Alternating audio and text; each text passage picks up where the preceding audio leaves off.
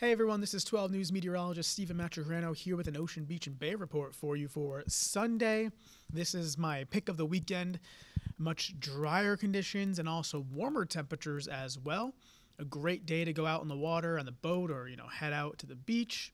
Uh, definitely going to be a nice day. Temperatures away from the shoreline going to be you know near the uh, 80 degree mark for the afternoon. You can see that here. Uh, uh, even you know during the latter part of the morning. So we're going to warm things up to the low 80s away from the shoreline. And uh, looking at 70s though for the beaches and a primarily dry day. I know there's some specks on there. I don't really think that's going to, going to amount to much. I suppose we can't rule out a passing shower, but for the most, most part, uh, you know, nothing like what we saw on Saturday with those scattered showers and downpours. So uh, that's the thing for Sunday. Uh, generally, a dry day expected. Um, you know, for outdoor activities, things are looking good.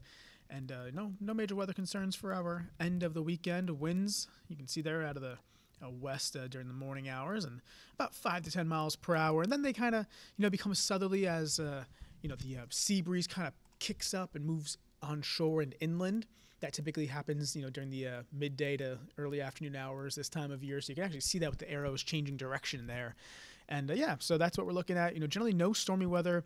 You know, it'll be gusty in and around the bay, and also uh, you know down on uh, Buzzards Bay and uh, offshore waters as well. But for the most part, it's pretty nice, nice weather for a Sunday. So here's the beach forecast: partly sunny, temperatures in the 70s.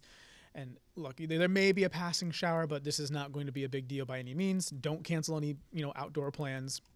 Surf about one to two feet and uh, safe sun index, you know, about 25 minutes. So apply that sunscreen. Even if there's clouds around, you can still burn easily through the clouds. I've certainly learned my lesson over the past several years. So uh, just keep that in mind.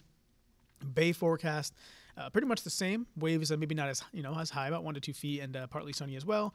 High tide around three o'clock. Low tide coming in around 8:41. So again, quiet weather, maybe a stray shower. That's about it. Otherwise, very nice conditions. Head to the beaches, head out on the water. Weather is looking good. We'll have more updates like this uh, over the next several days, so make sure you check back. Take care.